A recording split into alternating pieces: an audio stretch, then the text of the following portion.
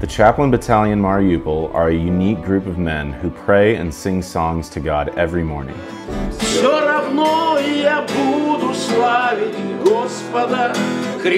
They always keep up with current events and have access to inside information, but they prefer to trust the Word of God.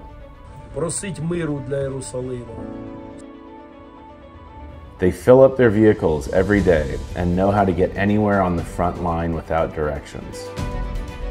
As they drive, they pray and sing again. Хорошее начало, половина битвы.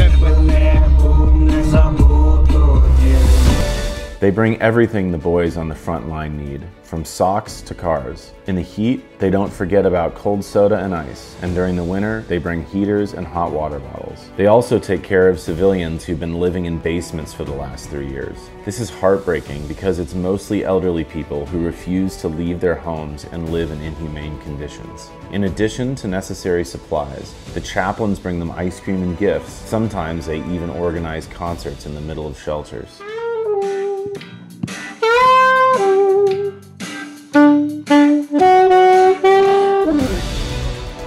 During Christmas, the chaplains celebrate by bringing an atmosphere of hope to the front lines. On Easter, they organize communion for the soldiers. This is what makes the chaplains so unique.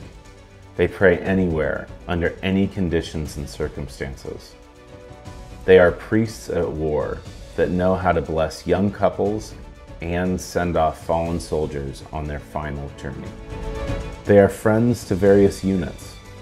They are trusted awaited, constantly called upon, and sent long lists of necessary items, along with messages like, Pray, we're going on a mission. Then the chaplains pray again, waiting for the return SMS. Do they ever feel afraid, sad, tired? Yes. Do they want to stop serving? No. Because they know how and are willing to go where it's difficult, where there are challenges, where there is pain. А ось тримати лінію оборони у Маріуполі вийшли навіть пересічні мешканці. 2014 год.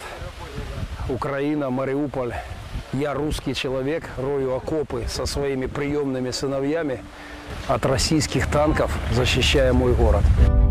They decided to go to the first trenches near Mariupol in April 2014 and see it through to the end until victory. And so it's been for 10 years.